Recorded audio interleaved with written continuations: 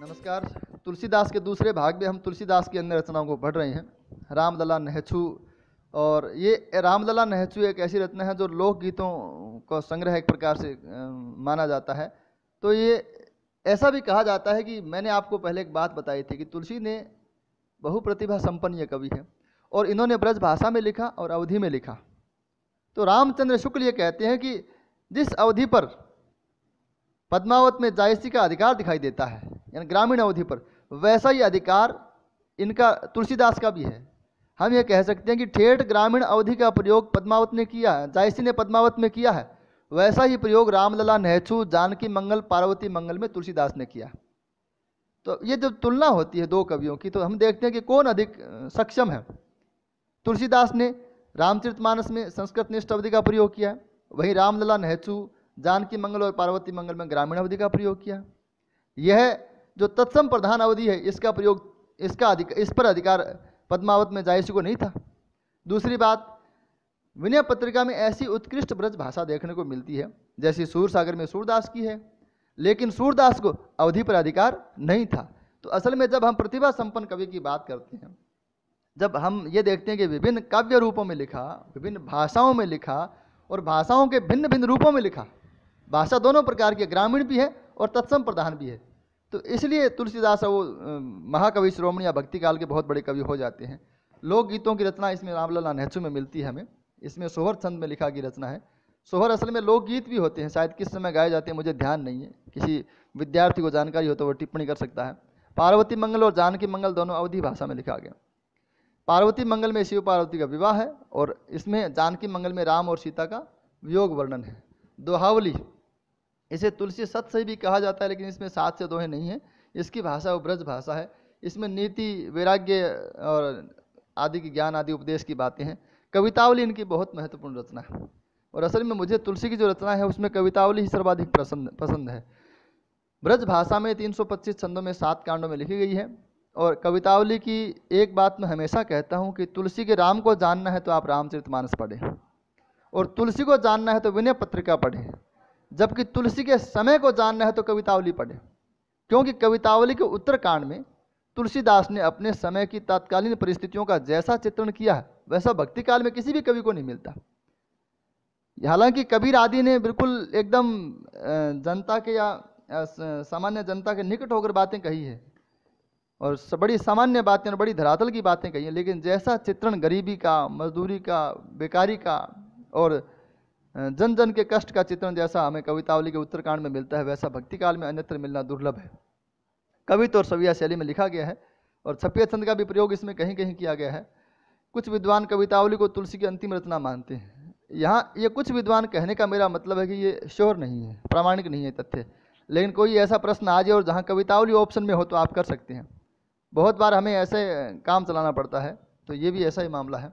इसमें राम कथा केवल लंका कांड तक है और उत्तरकांड पूरा का पूरा है, वो उस समय की परिस्थितियों को समर्पित है। वैराग्य संदीपनी है, रामाज्ञा प्रश्नावली है, इसमें ब्रज और अवधि दोनों भाषाओं का प्रयोग किया गया।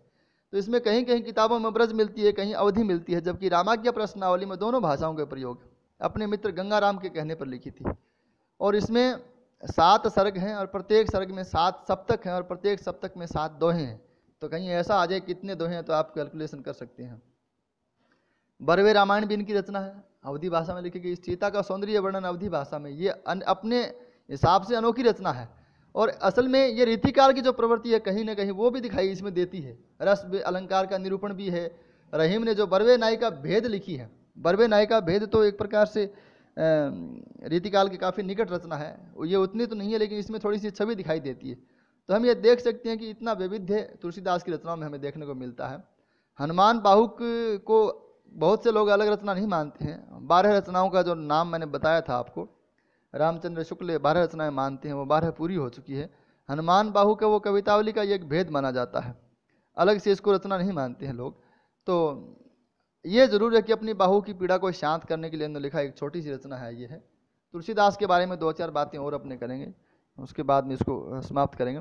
जानकी मंगल, पार्वती मंगल राम लला नहछू बरवे रामायण, वैराग्य संदीपनी, ये वो रचनाएँ हैं जिनका संकलन लाला भगवान दिन ने किया और पंचरत्न नाम से किया। ये आप ध्यान रखें तो ऐसा प्रश्न आ सकता है कि कौन सी रचना लाला भगवान दिन के पंचरत्न में शामिल नहीं है?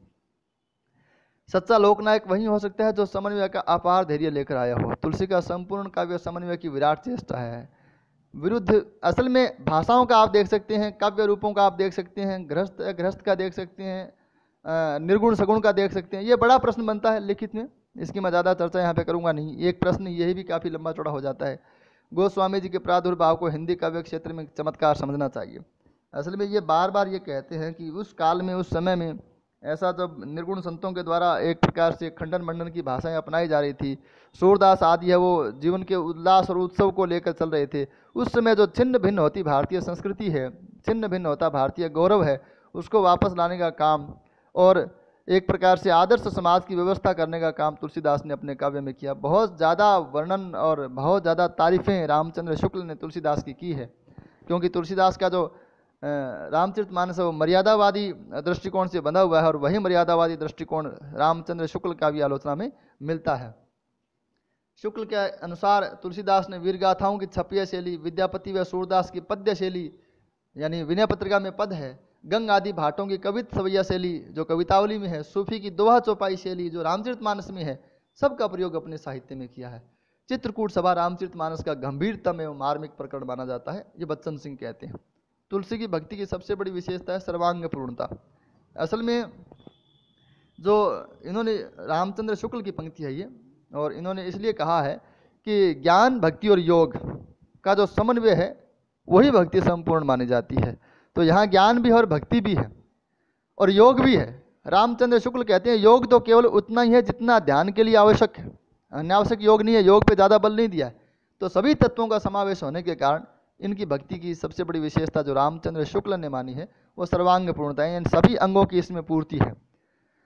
गोरख जगायो जोग और भक्ति भगायो लोग, ये तुलसीदास कवितावली में कहते हैं। यह कहने का कारण इतना रहा होगा कि जो गोरख ने लोगों को ध्यान की ओर और योग की ओर इतना ज़्यादा उनका दबाव बनाया और बहुत अधिक आग्रह के, से योग को सामने वो लाए, इससे जो भक्ति की सहज भावना है, जो जन के लिए, सामान्य जन के लिए सुलभ हो सकती है, उस भक्ति से लोगों का ध्यान हटा।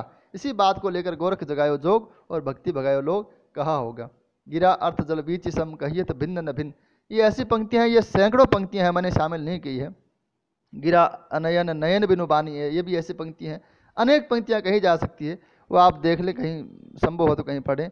क्योंकि नेट आदि की परीक्षाओं में बार बार ये पंक्तियाँ पूछी जाती है। तो तुलसीदास के बारे में इतना ही। जितना मुझे मौके पर ध्यान आया और जितना मुझे याद रहा, उतनी बातें मैंने बताने की कोशिश की है। अन्य कोई सवाल हो, कोई प्रश्न हो तो आप उसको टिप्पणी में पूछ सकते हैं शुक्रिया